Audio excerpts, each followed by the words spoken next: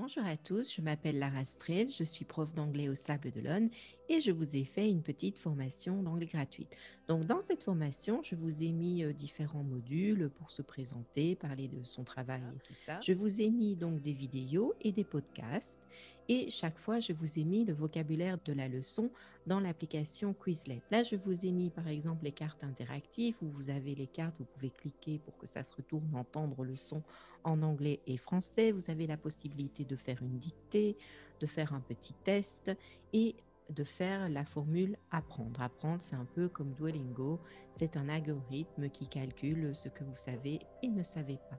Et la particularité de cette formation, c'est qu'à la fin, je vous ai mis un module sur j'apprends l'anglais avec les séries, notamment la série Friends. Là, je vous ai mis un épisode et on travaille euh, une structure grammaticale, l'impératif basé sur cet épisode-là. Donc j'aimerais bien que quand vous avez euh, suivi la formation, que vous me remplissiez le formulaire Google pour me dire exactement ce qui vous a plu, ce qui ne vous a pas plu.